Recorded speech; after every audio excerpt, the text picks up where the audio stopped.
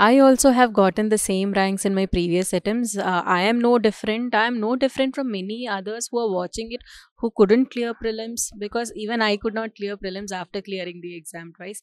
I am uh, a normal person. I am not a perfectionist. I have I have a lot of imperfections in myself.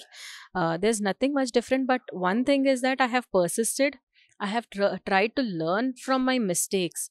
I, I identified what my mistakes were. I made a conscious effort to identify what my mistakes were that were failing me or that were uh, not resulting in a better rank for me. So, identification of them, meeting people who have uh, gotten success. Uh, for example, when I was uh, doing training in DANICS, I met a lot of friends. Each one of them had their specialty. For example, someone was good in essay, someone was good in general studies, some people were good in interview so i met i tried to learn from them i asked them what my mistake was so one should be ready to change themselves i think that is the best quality in me which helped me in uh, uh, persisting till the last uh, stage and in improvising my rank uh, in in these last uh, few attempts